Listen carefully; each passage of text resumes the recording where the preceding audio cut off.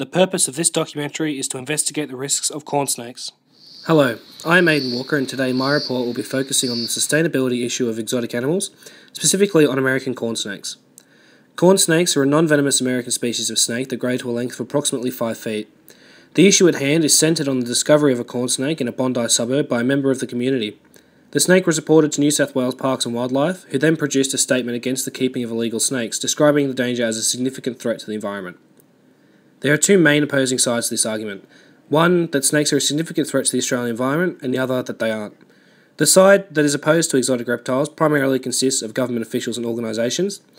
The other side, mainly reptile keepers and members of animal organisations that disagree with the stance set by the government. The person that we will hear from is the, is the resident who found the snake, Mrs. Katrina Walker. Mrs. Walker, thank you for taking time out of your schedule to come and talk to me. No problem. Um, so, would you mind telling me what happened on the day? Well, I keep chooks and I'd gone out to the backyard to feed them, and I'm used to seeing the odd mouse, but I'm certainly not used to seeing a snake. When I picked up their water bowl to empty it and clean it, there was this snake. I didn't know what kind of snake it was. And how does this make you feel about your community and your home? Well, I've got two young children, so now I'm, I don't know, super careful now, and I'm actually thinking of getting rid of the chooks if they're going to attract a snake like that because, yeah, um, yeah, it's just too dangerous. And one final question: How do you think these um, snakes should be dealt with? Um, I actually don't agree with people keeping snakes as pets, specifically dangerous snakes. I, I was told it was a corn snake. I don't know much about them. Um, I prefer snakes to be kept in proper enclosures like zoos and breeders, proper breeders. It needs to be regulated more. So, in terms of which side is more credible, I believe that although there is no way to prove that corn snakes will not impact our ecosystems, there is also a lack of evidence to claim that they will. Although the government's stance is that they are a significant threat, documents from the Western Australian government detailed an extensive investigation into the risk of corn snake introduction. Within this investigation, the corn snake ranked lowest in almost every category except for the durability with which they can survive. Although there is always a chance for a pest population to occur, lack of proof and evidence that disagrees with their view leads me to doubt the claim that corn snakes are a major threat to the Australian environment. There are risk assessments for corn snakes in countries other than Australia, and an example of this is in Brazil. Their findings were very similar, although the difference in climate did suggest that Australia is better suited to support corn snakes.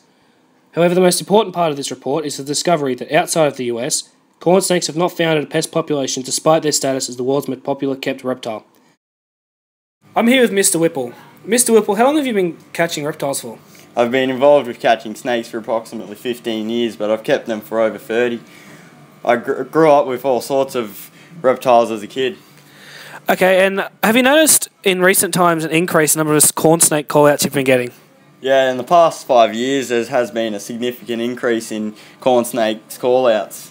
This may be due to the in- increased access to these exotic animals, relaxed government regulations, or perhaps the popularization of reptiles as pets over the past decade.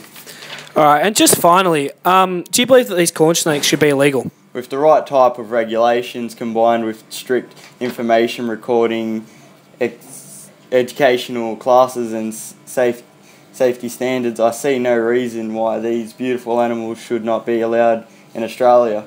On top of this, if I, if corn snakes were legalised, the exotic pet trade would be diminished as they are the most popular reptile import at the end of the day. One of the issues with the side stating that corn snakes are a significant threat is this Stafford document, giving corn snakes an establishment risk of only moderate, a public safety risk of zero, but still giving them an extreme threat to the Australian ecosystem.